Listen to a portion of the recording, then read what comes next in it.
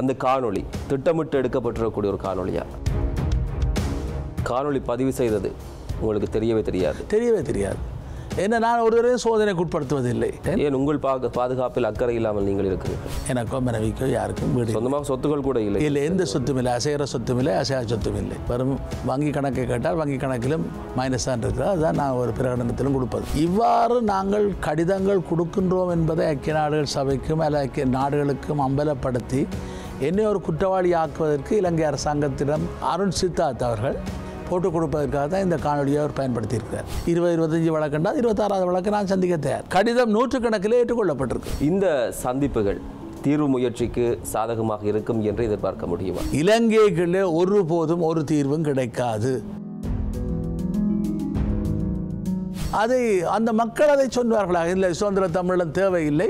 இதுதான் தேவையான நாங்கள் அதை ஏற்றுக்கொள்வோம். இந்திய இலங்கைக்குள்ளே இப்பொழுது இருக்கக்கூடிய இந்த பதிமூன்றாவது திருத்தம் கூட இந்தியாவினால் கொண்டு வரப்பட்டது. பனிப்போருடைய உச்சமாக இலங்கை சென்று கொண்டிருப்பதை நாளாந்தம் பார்த்து கொள்ளக்கூடியார்கள் வடக்கிலே கொண்டு வந்து தருகிறார்கள் கிழக்கிலே கொடுக்கிறார்கள். தெற்கிலே பெருசாக கொடுக்கவில்லை சீனா. வடக்கு கிழக்கு இந்த ஆளுநர் மாற்றங்கள் எப்படி இருக்க போகிறது?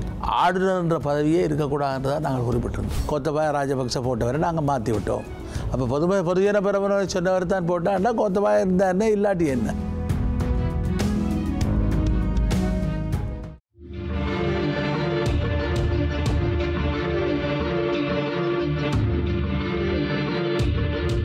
குறிப்பாக இந்த சந்திப்புகள் சம்பந்தமாக நீங்கள் சில விஷயங்களை சொல்லியிருந்தீர்கள். தமிழரசு கட்சி சந்திப்பதற்கு இணக்கம் தெரிவித்தது. அதுக்கு பிறகு வடக்கில் இருக்கக்கூடிய நாடாளுமன்ற உறுப்பினர்கள் பிறகு கிழக்கில் இருக்கக்கூடிய உறுப்பினர்கள் அழைக்கப்பட வேண்டும் என்ற விஷயம் சொல்லப்பட்டது. இரண்டு கட்டங்களாக அந்த பேச்சுவார்த்தை இடம்பெற்று இப்போது எந்த தீர்வுமே காணாமல் வைக்கப்பட்டிருக்கிறது. இந்த சந்திப்புகள் தீர்வு முயற்சிக்கு சாதகமாக இருக்கும் என்று எதிர்பார்க்க முடியுமா? ஒரு நிகழ்ச்சி நிரல் இல்லாமல் பேச்சுவார்த்தைகளுக்கு சென்று கொண்டிருப்பதை தான் இவையெல்லாம் காட்டி நிற்கின்றன அவர்கள் வைக்கின்ற ஒரு விடயத்தை நாங்கள் திருப்பி கேட்கிறோம். இனப்பிரச்சனை தீர்வுன்ற விட இது வடக்கு வர கிழக்கு வர வர வர பிரச்சனைலாம் சொல்லி அதற்கு நாங்கள் சொல்லித்தான் அவருக்கு செய்கிறது என்பது அவர்களுக்கு தெரியாதல்ல இது வடக்கு பிரச்சனை என்று சொன்னால் பேர பேரளவிலே வடக்கு தெற்கென்று பேசுபவன் எறிய வடக்கு கிழக்கு சேர்ந்தான் வடக்கு. அது வடக்குன்றது இந்த வடக்கு தெற்கு. தெற்கென்றா போல தெற்கு மாகாணம் மாத்திரமில்லை. அது மத்திய மாகாணம் மேற்கு மாகாணம் எல்லாம் சேர்ந்தால் தென்பகுதி வடபகுதி என்றால் ரெண்டு துருவங்களைத்தான் பார்த்து பேசுகிறார்களே ஒழிய. வடக்கு கிழக்கு என்பது எங்களுடைய தாயகம் பிரிக்கப்பட முடியாது இணைந்திருக்கக்கூடியது. அவை இது சம்பந்தமான விடயங்களை எது எந்த அளவிலே பேச போகிறோம்? எந்த மாதிரி ஆட்சி அதிகாரத்தை பயிர போகின்றோம் என்று பேச வேண்டுமே ஒழிய. ஆக குறைஞ்சது இப்பொழுது சில மாதங்களுக்கு முன்னர் பதிமூன்றாவது திருத்தத்தை நான் அமல்படுத்தியே தீர்வோம் என்று தீர்வேன் என்று சொன்னேன் அதை செய்து செய்து காட்டுங்கள் என்று சொல்லியிருக்கலாம் தானே. சொன்னார்கள். இப்பொழுது அதில் விட இன்னொரு விடயத்துக்கு நாங்கள் தரப்பு போகிறது. இன்னொன்று திரு விக்னேஸ்வரன் ஐயா அவர்கள் இடைக்கால நிர்வாகம் என்கிறார்கள் மற்றவர்கள் தேவையில்லை என்கிறார்கள். ஏதோ மூன்று மாதத்திலே தேர்தல் வரப்போகிறது போல. ஆறு மாதத்துக்குள்ளே தான் அந்த இடைக்கால சபை என்று அவர் சொல்லியிருந்தால் அதை அதையாவது செயற்படுத்துங்கள் என்று பார்த்தோம் வடக்கு கிழக்கு இணைந்த இடைக்கால சபை என்றால் அதில் எங்களுக்கு பிரயோசனம் இருக்கிறது. வடக்குக்கு ஒரு இடைக்கால சபை கிழக்குக்கு ஒரு இடைக்கால சபை என்று இருந்தால் கூட ஓரளவு இருக்குமே ஒழிய ஆனால் எங்கிருந்து தாயகத்தை உறுதிப்படுத்தக்கூடிய விதத்தில். ஏன்?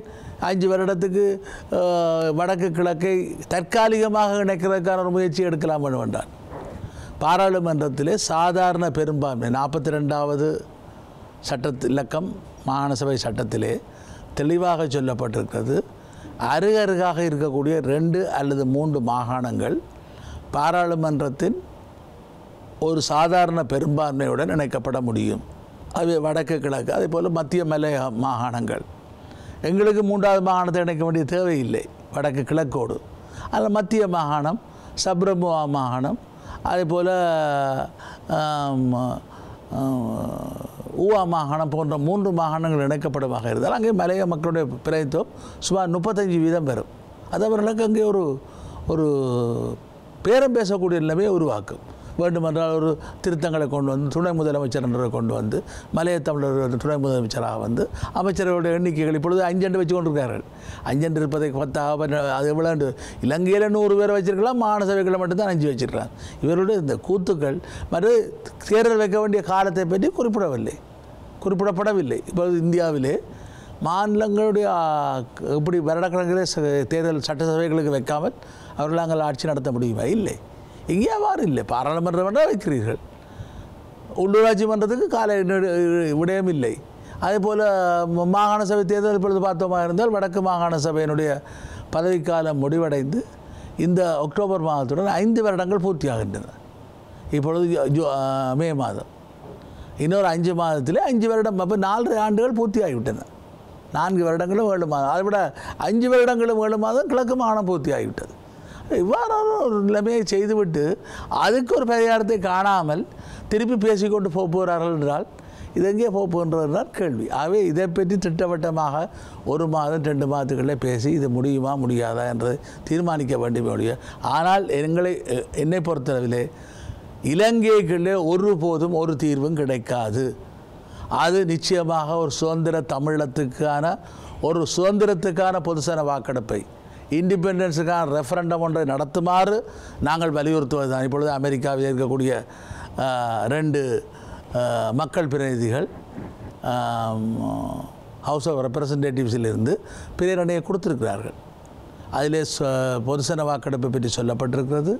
பல்வேறு விடயங்கள் அங்கே தெளிவுபடுத்தப்பட்டிருக்கிறது தமிழர் வடக்கு கிழக்கு தமிழருடைய தாயகம் என்பது அங்கே சொல்லப்பட்டிருக்கு.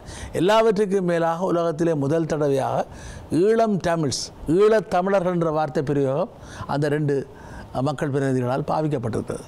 இலங்கையில் இருக்கக்கூடிய தமிழர்கள் என்று இல்லாமல் ஈழத்தமிழர்கள் அவை இவ்வாறு முன்னேற்றமான விடயத்தை அமெரிக்காவிலே காங்கிரஸிலே அதுக்கான தீர்மானம் முன்மொழியப்பட்டிருக்கிற சூழ்நிலையிலே அதே போல் கனடாவினுடைய பிரதமர் இனப்படுகொலை என்பதை திட்ட தெளிவாக நெத்தியடி போல சொல்லி இப்பொழுது பார்த்தால் கனடாக்கு எதிராக இனப்படுகொலை தீர்மானத்தை கொண்டு வர வேண்டும். ஜூன் மாதம் இருபத்தோராம் தேதி அன்று திரு விமல் வீரவன்சா கட்சிக்கின்ற அளவுக்கு நிலைமைகள் வந்திருக்கின்றன. ஆனால் எங்களுடைய தரப்பில் இருந்து மக்கள் பிரதிகளோ அமைப்புகளோ கனடா பிரதமருடைய அந்த வர விடயத்தை வரவேற்கவில்லை. நாங்களுடைய மக்கள் வரவேற்க வேண்டும். கனடா பிரதமர் அவர்கள் ஈழத்திலே நடைபெற்றது இனப்படுகொலை தமிழின படுகொலை என்று கூறிய விடயத்துக்காக அவர்கள் நாங்கள் உலகம் பூராம் இருக்கக்கூடியவர்கள் எங்களுடைய நன்றிகளையும் நெஞ்சார்ந்த அவர் பா பாராட்டுகளையும் தெரிவிக்க வேண்டும். அதே போல் அமெரிக்க காங்கிரஸ் உறுப்பினர்களுக்கு நாங்களே தெரிவிக்க வேண்டும். இந்த தீர்மானம் வந்து அது நிறைவேறுவதற்கு முன்னர் அது முன்மொழிந்திருக்கிறார்கள். அந்த முயற்சிக்காக நாங்கள் பாராட்டினால்தான் அந்த முயற்சிக்கு பிந்து பின்துணையாக இருந்தவர்களுக்கு ஒரு உற்சாகம் பிறக்கும். அது அது எங்களோட தரப்பில் இது இந்த இது எதுவுமே இல்லாமல் ஒரு உணர்ச்சியற்ற ஜடங்கள் போல எங்களுடைய ஈழத்தமிழர்கள் இருந்து கொண்டிருப்பதை பார்க்கின்ற பொழுது இவர்களுக்கு எதுவும் தேவைதானா என்ற ஒரு கேள்வி கூட எழலாம். அவை இதை பற்றி பொறுத்தளவிலே எங்களுடைய மக்கள் இறுக்கமாக நிற்க வேண்டும். அதே போல் இவர்களுடைய எந்த தீர்வும் வராது என்பது. சுதந்திர தமிழிடமா இல்லை அது போல் அரசாங்கம் ஒரு தீர்வு சொல்லட்டும். அது ஒற்றையாட்சியாக இருக்கட்டும் அல்லது சமஷ்டி என்றவர் சொல்லட்டும் அல்லது பதிமூன்றாவது திருத்தம்னு சொல்லட்டும் என்னத்தையாவது என்னத்தையாவது சொல்லி இருக்கட்டும் மக்கள் எதையாவது தெரிவு செய்யட்டும். மக்கள் வாக்கெடுப்பிலே அது உலகம் பூராவும் இருக்கக்கூடியது. அந்த போருக்கு முன்னர் இடம்பெயர்ந்தவர்களும் அதிலே உள்ளடக்கப்படுவார்கள். அவை புலம்பெயர் தமிழர்கள். நாற்பத்தெட்டாம் ஆண்டுக்கு பின்னர் அவருடைய வம்சாவளியினர் சிங்களவர்கள் உட்பட அவர்கள் பெரிய அளவிலே இல்லை. அவர்கள் எல்லோரும் வாக்களிக்கக்கூடிய விதத்திலே சிங்களவர்கள் தமிழர்கள் முஸ்லீம்கள் எல்லோரும் வாக்களித்து அவர்களுடைய சந்ததியும் வாக்களிக்கக்கூடிய விதத்திலே வெளிநாடுகள் எங்கேயும் இருந்தாலும். அது அதன் மூலம் இது தீர்மானிக்கட்டும். அதை அந்த மக்கள் அதை சொன்னார்களா இல்லை சுதந்திர தமிழன் தேவையில்லை. இதுதான் தேவை என்றால் நாங்கள் அதை ஏற்றுக்கொள்வோம். ஆகவே அதை செய்வது தான் சுயநிர்ணய உரிமை. இன்றைக்கு எங்களுடைய கட்சிகள் எல்லாம் தமிழ் தேசிய கட்சிகள் எல்லாம் சுயநிர்ணய உரிமைன்னு சொல்கிறார் சுயநிர்ணய உரிமையை எவ்வாறு பாவிப்பது? அதுக்கான அர்த்தம் இருக்க வேண்டுமே. தன்னுடைய தலைவிதியை ஒருவன் தானே தீர்மானிக்கின்றான் அவனிடம் அது விடப்பட வேண்டும். அதுபோல் இன்னத்திடம் விடப்பட வேண்டும். இனம் தன்னைத்தானே ஆளக்கூடிய எந்த முறை தேவை என்பதை தீர்மானிப்பது. அதை விடுத்து நாங்கள்லாம் சமஸ்தின்னு சொல்வதற்கு எங்களுக்கு யார் அதிகாரம் தந்தது? சமஸ்தி தான் தேவை என்று. அவை இதெல்லாம் பிழையான நடவடிக்கை. இதை எங்களுடைய கட்சிகள் உணர வேண்டும். அவை சுதந்திரத்துக்கான பொதுசன வாக்கெடுப்பை வலியுறுத்தக்கூடிய விதத்திலே இண்டிபெண்டன்ஸுக்கான ரெஃபரண்டம் என்று சொல்லப்படுகின்ற சுதந்திர தமிழன் தேவையா? இல்லையா என்ற ஒரு வாக்கெடுப்பை சர்வதேச சமூகம் நடத்த நிர்பந்திக்க வேண்டும். இந்திய இலங்கைக்குள்ளே இப்பொழுது இருக்கக்கூடிய இந்த பதிமூன்றாவது திருத்தம் கூட இந்தியாவினால் கொண்டு வரப்பட்டது. இலங்கைக்குள்ளே எதுவும் கொண்டு வரப்படவில்லை. ஆகவே இன்னொரு விடயம் கூட இன்றைக்கு இந்திய பசிபிக் பிராந்தியத்திலே குவாட் நாடுகளுடைய பல உச்சி மாநாடுகள் தொடர்ந்து நடைபெற்று கொண்டிருக்கின்றன. அமெரிக்கா ஜப்பான் ஆஸ்திரேலியா இந்தியா உட்பட பலர். நடந்து கொண்டிருக்கிறது. ஆகவே அவர்களுடைய அந்த எண்ணிக்கை அந்த நிகழ்ச்சிகள் அடிப்படையிலே கூட அவர்கள் எங்களுக்கு இதுக்கு உதவி செய்யக்கூடிய வாய்ப்பு இருக்கிறது. அது இலங்கை இன்றைக்கு ஒரு சிறிய நாடாக இருந்தாலும் சிறிய தீவாக இருந்தாலும் இன்றைக்கு ஒரு நாளும் பொழுதும் ஏட்டிக்கு போட்டியாக சீனா மண்ணெண்ணை கொடுக்கிறது எரிபொருள் நிலையங்களை எடுக்கிறார்கள் இந்தியா அதை செய்கிறது. ரெண்டு பேருக்கும் இடையிலே ஒரு ஒரு எவ்வாறு சொல்வது? ஒரு நிழல் யுத்தம் ஒன்று அல்லது ஒரு ஒரு வி- விடயமாக ஒரு பிரச்சனை போய்க்கொண்டிருப்பதை தெளிவாக காட்டி நிற்கிறது ஆகவே இதிலே வந்து ஒரு பனிப்போர் என்று சொல்வார்கள். கோல்ட் வார் அது எப்பொழுது நேர்ப்பு நேர்மடி வா வாதம் மாறுமா நேரடி போராக மாறுமா என்பதை விட பனிப்போருடைய உச்சமாக இலங்கை சென்று கொண்டிருப்பதை நாளாந்தம் பார்த்து கொள்ளக்கூடியார்கள் வடக்கிலே கொண்டு வந்து தருகிறார்கள் கி- கிழக்கிலே கொடுக்கிறார்கள். தெற்கிலே பெருசாக கொடுக்கவில்லை சீனா. ஆனால் அவ்வாறான விடயங்களை போட்டி போட்டுக்கொண்டு செய்து கொண்டிருப்பது போல இப்பொழுது இந்த நூற்றுக்கணக்கான எரிபொருள் நிலையங்கள் எடுக்கிறார்கள். அதே போல் அது அதனுடைய அதெல்லாம் நாற்பத்தஞ்சு நாளிலே செயற்படும் என்று சொல்கிறார்கள். இதெல்லாம் இலங்கையோட பொருளாதாரத்தை நிமித்துவது வேறு விடயம். ஆனால் வடக்கு கிழக்கிலே அவர்கள் சீனாவை கால் பதிக்க வைப்பதை இந்தியா ஒருபோதும் அனுமதிக்காது. இவ்வாறான பூகோள சூழ்நிலையில் தான் எண்பத்தி மூன்றாம் ஆண்டிலே எவ்வாறு ஜிஆர் ஜெயவர்த்தனா அமெரிக்காவுக்கு சார்பான ஒரு கொள்கையை வைத்துக் கொண்டிருந்த பொழுது அன்றைய இந்திய பிரதமர் அன்னை இந்திரா காந்தி சோவியத் சார்பில் இருந்த காரணத்தால் தான் எங்களுக்கு போராட்டத்தில் எழுபத்தேழிலும் பட இனப்படுகொலை நடைபெற்றது. ஆயிரம் பேர் செத்தார்கள். ம- தமிழ் மக்கள் கொல்லப்பட்டார்கள். ஆனால் அப்பொழுது எங்களுக்கு யாரும் உதவி செய்ய முன்வரவில்லை. அப்படியே தான் நாங்கள் மிகவும் நூறு பேருக்குள்ளே தான் போராட்ட இயக்கங்களில் இருந்து கொண்டிருந்தோம். முழு நேர இயக்கங்கள் இயக்கவாதிகள். ஆனால் எண்பத்தி மூன்றுக்கு பின்னர் பல பத்தாயிரக்கணக்காக வந்ததுக்கான காரணம் அதுவும் ஒரு ஜியோ பொலிட்டிக்ஸ் தான். பூகோள நலன் சந்த அரசியல் பலருக்கு பலருக்கு அது தெரியாது. ஆனால் அது பின்னர் இப்பொழுது இந்த சூழ்நிலை மாறி இருக்கிறது இப்பொழுது இன்றைக்கு இந்தியா அமெரிக்கா தரப்புகள் சென்றிருக்கிறது. இதுதான் நிலவரங்கள் சரி இந்த ஆளுநர் மாற்றம் சம்பந்தமாக சொல்லியிருந்தீர்கள். முதலாவதாக கிழக்கிலே இந்த தீவிரமாக செயற்பட்டு கொண்டிருக்கக்கூடிய அல்லது இனத்தை இனங்களுக்கு இடையிலான முருகநிலைமை உச்சது கொண்டு செல்லக்கூடிய ஒரு ஆளுநர் இருந்தார். இப்போ அவர் நீக்கப்பட்டு கொண்டு வரப்பட்டிருக்கக்கூடிய செந்தில் தொண்டமான். ஒரு தமிழர் முதல் முதலாக கிழக்கு ஆளுநராக நியமிக்கப்பட்டிருக்கிறார். வடக்கை பொறுத்தவரையிலும் ஏலவே ஆளுநராக இருந்திருக்கக்கூடிய பி எஸ் எம் சார்ல்ஸ் அம்மையார் அவர்கள் நியமிக்கப்பட்டிருக்கிறார். இந்த ஆளுநர் நியமனங்கள் வடகிழக்கு தமிழர்களுடைய தாயகம் என்று சொல்லப்படுகிற போது இன்னும் ஒரு மாகாணத்துக்கும் ஆளுநர் நியமனம் செய்யப்பட்டிருந்தாலும் கூட மிக தீவிரமாக நாங்கள் இந்த இரண்டு விஷயங்கள் பற்றியும் பேசலாம். வடக்கு கிழக்கு இந்த ஆளுநர் மாற்றங்கள் எப்படி இருக்க போகிறது?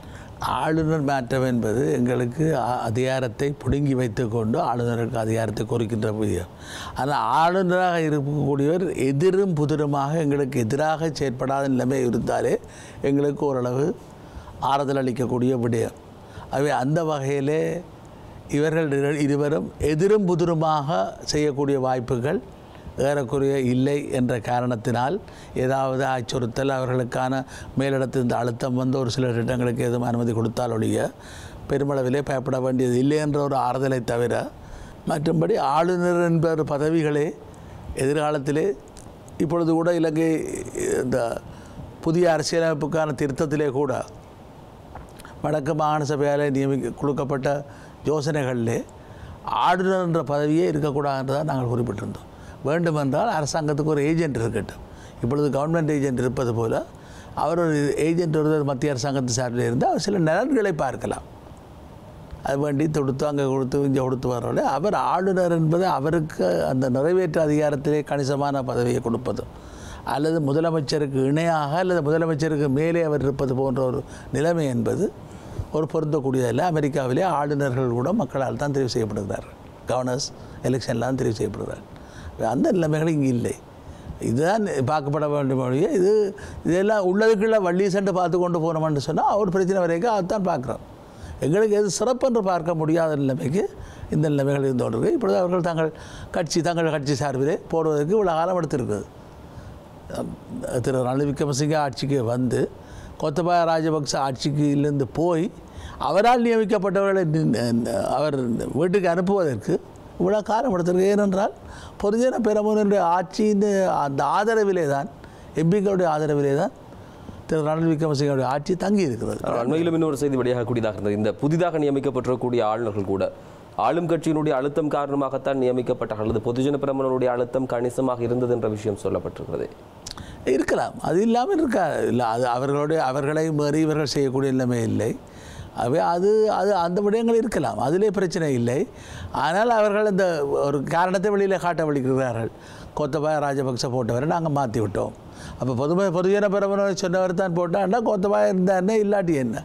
இன்றைய பொதுஜன பிரபலனை இருந்து கொண்டு இருக்கிறது மஹிந்த ராஜபக்சே இருந்து கொண்டு இருக்கிறார் அவருடைய அந்த குடும்பம் அப்படியே இருந்து இருக்குது. ஏனையவர்கள் எல்லோரும். இது இது என்னென்னு சொன்னால் பார்த்தா என்னென்னு சொன்னால் இந்த அந்த நாணயத்தின் ரெண்டு பக்கங்கள் போலத்தான் இவர்களுடைய நிலவரங்கள் நிலவரமை ஒழிய வேறு எதுவும் இல்லை. சரி மிக முக்கியமான ஒரு விஷயம் நாங்கள் பேசியே ஆக வேண்டிய தேவை இருக்கிறது. குறிப்பாக இந்த இடைவெளிகளுக்கு முன்பாக ஒரு காணொளி ஒன்று வெளியாக இருந்தது. நீங்கள் உங்களிடத்தில் ஒருவர் வந்து உரையாடுகிறார் சில விஷயங்களை தனக்குரிய தேவையாக கேட்டுக்கொள்கிறார். ஆனால் அது உங்களுடைய மதிப்பைத்தான் உயர்த்தி இருந்தது உங்களுடைய நேர்மைத்தன்மையும் ஒரு கண்ணியமான அரசியல்வாதி என்பதை காட்டினது. பின்னாலே இந்த காணொளிகள்லாம் பகிரப்படுகிற போது பலர் உங்கள் சார்பாகத்தான் கருத்துக்களை தெரிவித்தார்கள். இருந்தாலும் கூட ஒரு தனிநிலை விளக்கம் என்பது தேவையாக இருக்கிறது. அந்த காணொளி திட்டமிட்டு எடுக்கப்பட்டிருக்கக்கூடிய ஒரு காணொளியா? ஆம் திட்டமிட்டு எடுக்கப்பட்ட காணொளி தான். அந்த நீங்களும் அந்த திட்டம் திட்டத்திலே பங்கு பங்குதாரியாக இருந்தீர்களா? இல்லை. உங்களுக்கு தெரியும் நூற்றுக்கணக்கானவர்கள் எங்களை பல தடவைகள் வந்து சந்திப்பார்கள். சிலர் அவசரமாக சந்திக்க விரும்புவதாக சொல்கின்ற பொழுது கூட நான் நித்திரத்திலும் திரையிலே தூக்கத்திலே இருந்திருந்தால் கூட பெரும் அளவிலே நான் மேல் மேல் சட்டையை போட்டுக்கொண்டு வந்தான் நிச்சயமாக ஆக்களுடன் பேசுவேன். அதுவும் பெண்கள் வருகிறார்கள் நிச்சயமாக நான் மேல் சட்டையோடு தான் வருவேன். வரும் வரும் மேலே வரும் சாரத்துடனோ அல்லது அந்த அங்கியோட. ஆனால் அந்த அந்த காணொளியிலே நான் வரும் இடம் ஆனால் உடம்பும் கொஞ்சம் எனக்கு ஒரு சந்தேகமாக இருந்தது. கொஞ்சம் திரகாத்திரமாக இருப்பது போல இருந்ததன் பின்னர் நான் அந்த காணொளியை வடிவாக அவதரித்த பொழுதுதான் அந்த அருகிலே இருக்கக்கூடிய எண்ணல்கள் அந்த விடயங்களை எல்லாம் பார்த்த உடைந்து எல்லாம் இருக்கிறதை பார்த்தால் அந்த அலுவலகம் நான் ப ரெண்டாயிரத்தி பதினொன்றிலிருந்து பதினேழு வரை குடியிருந்த அலுவலகம். அது பதினேழாம் ஆண்டு ஜூலை மாதத்துக்கு பிறகு அந்த அலுவலகத்தில் நான் இல்லை. அலுவலகம் அது? அது வல்வெடுத்துறையில் இருக்கக்கூடிய காங்கிரஸ் துறை பிரதான வீதியில். அதிலிருந்து தான் இன்னொரு இடத்துல ஒரு நானூறு அஞ்சூறு மீட்டரில் இன்னொரு இடத்துக்கு போனேன் ரெண்டாயிரத்தி பதினெட்டில். அப்புறம் பத்தொன்பதில் இன்னொரு அலுவலகத்துக்கு இடம்பெயர்ந்தேன் இப்பொழுது எங்களுடைய பூர்வீக வீடு அல்லது என்னுடைய சங்க தங்கை தங்கைக்கு சொந்தமாக இருக்கக்கூடிய வீட்டை எத்தனையோ வருடங்களுக்கு பின்னர் அவர்கள் திருத்தி அதில் நீங்கள் இருங்கள் என்று எனக்கு தந்திருக்கேன் எனக்கு சொந்தமாக வீடு இல்லை. எனக்கோ மனைவிக்கோ யாருக்கும் வீடு. சொந்தமாக சொத்துக்கள் கூட இல்லை. இல்லை எந்த சொத்தும் இல்லை. அசைகிற சொத்தும் இல்லை அசையா சொத்தும் இல்லை. வரும் வங்கி கணக்கை கேட்டால் வங்கி கணக்கிலும் மைனஸ் தான் இருக்கிறது. அதுதான் நான் ஒரு பிரகடனத்திலும் கொடுப்பது. ஆகவே அது அதை பற்றி பிரச்சனை எனக்கு பிரச்சனை இல்லை. அவை அவ்வாறான ஒரு சூழ்நிலையிலே தான் அந்த வீட்டிலே வந்த பொழுது இவர்கள் வந்து அதை ரகசியமாக இதை ரெக்கார்ட் பண்ணியிருக்க வேண்டும். எனக்கு தெரியவில்லை. அவர் சொல்கின்றார் தான் ஏதோ பழைய பிரதேசத்தில் இருக்கிறேன். ஏதோன்னு சொல்லி. ஆனால் அவர்கள் வந்து நோ தோ- தோண்டி தோண்டி கேட்பதனுடைய நோக்கம் உங்களுக்கு எதுவும் காசு வேணுமா? இல்லையா? அப்போ நான் சொல்கின்றேன் இல்லை நீங்கள் பு- உடனடியாக செய்வதாக இருந்தால் இப்பொழுது கூட உங்களோட பெற்றோர் மூலம் ஏதாவது ஒரு பொருட்களை யாருக்காவது வழங்க முடியும். உழைச்சி கொடுக்குறேன்டா கூட நீங்கள் நேரடியாக ஆஹ், மு- கிளிநொச்சியோ முல்லைத்தீவிலையோ பிரதானமாக போர் பாதிக்கப்பட்டவர்களுக்கு நீங்கள் பத்து இருபது முப்பது பவுன்ஸோ டாலர்களை அனுப்புங்கள் என்றெல்லாம் நான் சொன்னதுனால அவர்கள் ஏமாற்றிவிடு ஆனால் அவர்கள் இவ்வாறு நாங்கள் கடிதங்கள் கொடுக்கின்றோம் என்பதை ஐக்கிய நாடுகள் சபைக்கும் அல்ல ஐக்கிய நாடுகளுக்கும் அம்பலப்படுத்தி என்னை ஒரு குற்றவாளி ஆக்குவதற்கு இலங்கை அரசாங்கத்திடம் போட்டுக் கொடுப்பதற்காக தான் இந்த காணொலியை அவர் பயன்படுத்தியிருக்கிறார். ஏன் ஏழு ஆண்டுகளாக ரெண்டாயிரத்தி பதினேழில் எடுக்கப்பட்டிருக்கலாம் பதினஞ்சு பதினாறில் எடுக்கப்பட்டிருக்கிறார் என்றால் அதிலே ஒரு கட்டத்திலே நான் சொல்கின்றேன் பிரிட்டிஷ் பவுன்ஸ் என்றால் இருநூறு ரூபாவாக இருக்கும் என்றதை கணக்கு வைத்துக் கொண்டு தான் நான் பத்து பவுன்ஸ் என்றால் ரெண்டாயிரம் ரூபா வரும் என்று கூறுகின்றேன். இப்பொழுது நாற்பது நாற்பது ரூபாக்கும் போனது. அவை அந்த அந்த ஆண்டை வைத்து பார்த்தால் ரெண்டாயிரத்தி பதினாறு பதினேழில் தான் எடுக்கப்பட்டிருக்குது. எடுக்கப்பட்டது எதப்படி இருந்தாலும் அதை இப்பொழுது அவர்கள் சிஐடியிடம் குற்றப்புலனாய்வு திணைக்களத்திடம் போலீஸ் தலைமை காரியத்திலே மற்றும் பலரிடம் கையளிக்கப்பட்டு இப்போ இப்பொழுது போலீஸ் என்ன சிஐடியினர் அந்த வழ இன மீது வழக்கை தொடுப்பதற்காக இவ்வாறான கடிதங்களை அசேலம் கேட்பதற்பவர்களுக்கு அதாவது தஞ்சம் கோருகின்றவர்களுக்கான கடிதங்களை வழங்குகின்ற வேலையை நான் செய்கின்றேன் என்பதை சிலங்கையனுடைய சட்டத்திட்ட நான் சட்டத்திட்டங்களை மீறுகின்றேன் என்ற ஒரு தொனிப்பொருளிலே அவர்கள் வழக்கு தாக்கல் செய்து என்னை என்னை முடக்குவதற்கான முயற்சிகள் எடுக்கப்படுவதாக நான் இது அறிந்தேன். ஏனென்றால் அருண் சித்தார்த் அவர்கள் பத்திரிகை மாநாட்டை நடத்தி பொதுநூல மண்டபத்திலே நடத்தி இந்த காணொளியை வெளியிட்டு அவர் அது தான் சொல்லியிருக்கார். அவருக்கு போகிற காணொலிகளை எல்லாம் பார்த்தேன். அவர் ஐநா தலைமை ஐநா காரியாலயத்தில் கொண்டு அது மனுவை கொடுக்குறார். சிஐடியில் கொண்டே கொடுக்குறார். போலீஸ் தலைமை காரியாலயத்தில் கொடுக்குறார். எல்லாம் காண்பிக்கப்படுகிறது. ஹீரோ டிவியில் நான் பார்த்தேன். அவே அவர்கள் அதுக்கான நடவடிக்கை எடுக்கட்டும். அது பார்க்கலாம். எனக்கு அப்போ இப்பொழுது இருபது இருபத்தஞ்சி வழக்குண்டா இருபத்தாறாவது வழக்கு நான் சந்திக்க தயார். என்னை பொறுத்தளவிலே ஆனால் ஒரு ஆறுதல் என்னவென்றால் எங்களுடைய மக்கள் பலர் நூற்றுக்கு தொண்ணூற்றி ஏழு தொண்ணூற்றி எட்டு தொண்ணூற்றொம்பது வீதம் அதை அவர்கள் அது சார்பாக நல்ல ஒரு விதமாக எனக்கு எதிராக செயற்பட்டவர் பலர் கூட கருத்துக்களை அவர்கள் பதிவு பதிவிட்டது. எனக்கு ஒரு மன ஆறுதலை தருவது. ரெண்டைக்கும் ஒரு நாளைக்கு நல்லது செய்தால் நல்ல விஷயம் நடக்கும் என்பதற்கு இது ஒரு உதாரணம். காணொளி பதிவு செய்தது உங்களுக்கு தெரியவே தெரியாது. தெரியவே தெரியாது. என்ன நான் ஒரு தடவை சோதனைக்கு உட்படுத்துவதில்லை. உங்களுக்கு தெரியும் இப்பொழுது நவீன பதினஞ்சு இரு வருடங்களுக்கு முதலே ஒரு பேனாவோடு மாதிரி குத்தி கொண்டிருந்து கூட காணொளி கேமரா பொருத்தப்பட்டிருக்கலாம். அல்லது அவர் வந்து ஏதாவது பொக்கெட்டுக்குள்ளே அந்த கேமராவை வைத்து கொண்டிருந்திருக்கலாம். ஏதாவது செய்திருக்கலாம். அது நான் கவனித்திருக்க மாட்டேன். ஏன் உங்கள் பாக பாதுகாப்பில் அக்கறை இல்லாமல் நீங்கள் இருக்கிறீர்கள்? இல்லை இதே நாங்கள் வருங்கிற மக்களை போட்டு நாங்கள் சோதித்து அவர்களை என்னத்தை செய்வதென்ற ஒரு நிலைமை இருக்கிறதே ஒழிய அது அதில் த அது என்னுடைய தவறு என்னுடையது தான் இல்லை அதை வச்சுட்டு வாருங்கள் இவை வச்சுட்டு வாருங்கள் என்றால் வச்சுட்டு வர்றேன்னு சொல்லி கதை கேட்க கூட அண்மையில் கூட ஒரு நான்கு நாட்களுக்கு முன்னர் கூட ஒரு இளைஞர் வந்தார். ஐயா இப்படி ஒரு பிரச்சனை வந்து நான் அங்கே வச்சுட்டு வரேன்ட்டு கேட்க அவர்கிட்ட உள்ளுக்குள்ளே எதை வச்சுருக்காரா இல்லையான்னு எனக்கு தெரியாது. என்ன? அவர் தான் வச்சுருந்த ஃபோனை தான் வச்சார். இன்னும் ஒரு ஃபோன் ஓட்டு ஷர்ட்டுகளாலே வேறு இதுகளே இருக்குமோ இல்லையான்னு தெரியாது. என்ன? அவரும் ஒரு முக்கியமான விடயத்தை பற்றி தான் பேசினார். அப்படின்றால் இந்த நபர் இந்த காணொலி எடுத்து வெளியிட்ட நபரை ஞாபகம் இருக்கிறது? இல்லை அது ஒரு வாரத்துக்கு முதல் என்றால் கூட ஞாபகம் இருக்காது. ஆறு ஏழு வருடங்களுக்கு முதல் வந்த ஒருவரை எவ்வாறு ஞாபகப்படுத்த முடியும்? அல்லது அவர்களோட தேசிய அடையாளத்தை வேண்டி நாங்கள் பதிஞ்சா கூட அது இந்த ஒரு பொய் தேசிய அடையாளம் கொண்டு வந்து போகலாம். யார் செய்தார் என்று தெரியாது தானே. எவர் செய்தார் என்று தெரியாத இடத்துல அவர் என்ன விஷயத்தை பேசினார் என்று இவர் நீண்ட நேரம் பேசிவிட்டு எடிட் பண்ணியிருக்கலாம்னு நான் நினைக்கிறேன். இதை விட இன்னும் கூட இருந்திருக்கலாம் அந்த உரையாடல்கள்.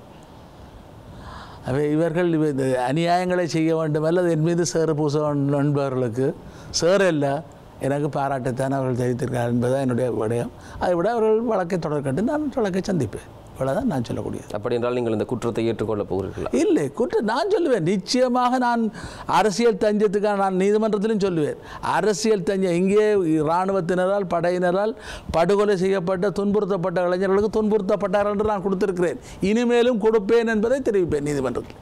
அவே அதிலே நான் அஞ்ச மாட்டேன். அப்படி என்றால் அஹ், துன்புறுத்தப்படாமலும் நீங்கள் கடிதம் கொடுத்திருப்பீர்கள் தானே? இல்லை துன்புறுத்தப்படாமலே கடிதம் கொடுத்திருப்பீர்கள் என்று அவர்களை எவ்வாறு நிரூபிக்க முடியும்? எவ்வாறு நிரூபிக்க முடியும்? துன்புறுத்தப்பட்டது. யார் எனக்கு சொல்லி நான் கொடுக்குறேன். நான் வந்து உங்களுக்கு தெரியும். ஒரு கேமராவை பூட்டி நான் பார்த்து கொடுக்குற மாதிரி இருக்காதே. ஒருத்தர் தன்னுடைய வந்து தன்னுடைய ஒரு த தந்தையும் மா- தாயும் என்னுடைய பிள்ளை கடத்தப்பட்டிருக்கிறார்.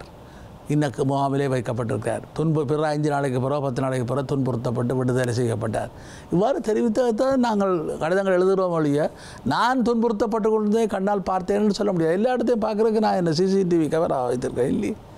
ஆகவே அது மாதிரி அவர்களுக்கு பிறகு இன்னும் ஆலோசனை சொன்னேன் என்ன யோசனையை சொன்னேன் என்ற விடயங்கள்லாம் அங்கே இடம்பெறுகிறது. ஆகவே அங்கே வந்து அந்த நீதிமன்றத்திலே எத்தனையோ விசாரணைகளுக்கு பிறகுதான் எங்களுடைய என்னுடைய சாட்சியம் என்னுடைய அந்த கடிதம் உறுதிப்படுத்தப்பட்டு ஏற்றுக்கொள்ளப்பட்டு பலருக்கு அந்த தஞ்சம் வழங்கப்படுகிறது. அது கனடாவாக இருக்கலாம் ஃப்ரான்ஸாக இருக்கலாம் பல நாடுகளிலே அஹ், லண்டனிலே ஏற்றுக்கொள்ளப்படுகிறது. கனடாவிலே ஏற்றுக்கொள்ளப்படுகிறது ஆனால் கனடாவில் எனக்கு கனடாக்கு விசா இல்லை. நான் ஆயுத போராட்டத்தில் இருந்தவன் பாக்க உலகத்திலே இப்பொழுது எல்லா நாடுகளிலும் தடைகள் நீங்கி விட்டன இன்னும் கனடாக்கு நீங்கவில்லை. ஆயுத போராட்டத்தில் இருந்த காரணத்தால் பாராளுமன்ற உறுப்பினராக இருந்து ராஜதந்திர கடவுச்சீட்டு இருந்த காலத்திலிருந்து எனக்கு மறக்கப்பட்டு வந்தது. அது ஆனால் அவர்கள் என்னுடைய கடிதம் நூற்றுக்கணக்கில் ஏற்றுக்கொள்ளப்பட்டிருக்கு. இதான் இல்லை அவர்களால் ஒவ்வொரு ஒவ்வொரு விடயத்தையும் ஒவ்வொரு கடிதத்தையும் அந்த கடிதத்தை தான் வந்து ஆராய்வார்களே பொதுவாக புத்தாம் பொதுவாக ஆராய்வது கிடையாது. அதுதான் அவர்கள் பெரு பெரு- பெரும்பாலானவை ஏற்றுக்கொள்ளப்படுகின்றன. ஒரு சில ஒரு சில கடிதங்கள் நிராகரிக்கப்படுகின்றன. அது அவர்களுடைய அந்த அவருடைய அந்த பாதிக்கப்பட்ட தன்மை குறைவாக இருக்கலாம். இல்லை அவர்கள் வேறு முன்னுக்கு பின்முரணான காரியங்களை சொல்லியிருந்தால் அதை அவர்கள் சுட்டிக்காட்டி நிராகரிக்கின்ற பொழுது நிராகரிப்பதற்கான காரணங்களை தெரிவிக்கிறார்கள் எழுத்து மூலமாக. அது எந்த நாடாக இருந்தாலும் அது எந்த நீதிமன்றமாக இருந்தாலும் என்னென்ன காரணங்களுக்காக இதை எங்களால் ஏற்றுக்கொள்ள முடியவில்லை என்று அறிந்து அவர்கள் அப்பீல் செய்வதற்கான அனு சந்தர்ப்பத்தையும் வழங்குகிறார்கள். இதுதான் நிலவரம். சரி ஆரம்பத்தில் கேட்ட அந்த கேள்வியோடு தான் நிகழ்ச்சியை முடிக்கலாம் நினைக்கிறேன். தீவிர அரசியல் கொஞ்சம் ஈடுபாடு குறைவாக இருக்கிறது என்ற காரணத்தை காட்டி திரு. சிவாஜிலிங்கம் அவர்கள் அரசியலில் இருந்து ஒதுங்கி விட்டார் என்று கேட்டால் என்ன பதில் இருக்கிறது? இல்லை நிச்சயமாக இன்னும் தீவிரமான அரசியலில் ஈடுபடுவார். தேவைப்பட்டால் தேர்தல் அரசியலிலிருந்து இனிமேல் ஈடுபட மாட்டேன் என்று சொல்லிவிட்டு இன்னும் அதை விட இன்னும் உச்சமான ஈடுபாட்டுடன் நான் செயல்படுவேன் என்னை பொறுத்தவரை என்னுடைய உயிர் பிரியும் வரை இறுதி மூச்சு வரை நான் இந்த இனத்தினான விடுதலைக்காக நான் இந்த நாட்டிலும் சரி இந்த நாட்டிலும் சரி நான் தொடர்ந்து போராடுவேன் போராட வேண்டும் என்ற வேகத்தோடு தான் இருந்தேன். அது என்ன நோய்வாய்ப்பட்டாலும் அந்த நோய்க்கு மத்தியிலும் நான் போராடுவேன் என்பதுதான் என்னுடைய உறுதியான நிலைப்பாடு. சரி பல்வேறுபட்ட முக்கியமான விஷயங்கள் கேட்கப்படக்கூடிய கேள்விகள். இது மக்கள் சார்ந்து தெளிவுபடுத்த வேண்டிய விஷயம். இந்த காரணி சார்ந்த விஷயம் எல்லாம் கேட்க வேண்டிய தேவையே கிடையாது. இருந்தாலும் கூட ஒரு தெளிவுபடுத்தல் என்பது நிறைய தேவையாக இருக்கிறார் மக்களும் உங்கள் சார்பாக தான் நிறைய விஷயங்களை சமூக வலைத்தளங்களும் பகிர்ந்து கொண்டிருந்தார்கள். நேரம் ஒதுக்கி நிகழ்ச்சிக்காக கலந்து கொண்டமைக்காக ஐபிசி தமிழ் குழுமம் தன்னுடைய நன்றிகளை தெரிவித்துக் கொள்கிறது. இந்த வாரம் திரு எம் கே சிவாஜிலிங்கம் அவர்கள் பல்வேறுபட்ட விஷயங்கள் இந்த அரசியல் சார்ந்து பல்வேறு க விடயங்கள் சார்ந்து நிறைய பேசியிருக்கிறோம். வருகிற வாரம் இன்னும் அதிகளோடு சந்திக்கலாம். அதுவரை விடைபெறுகிறோம். வணக்கம்.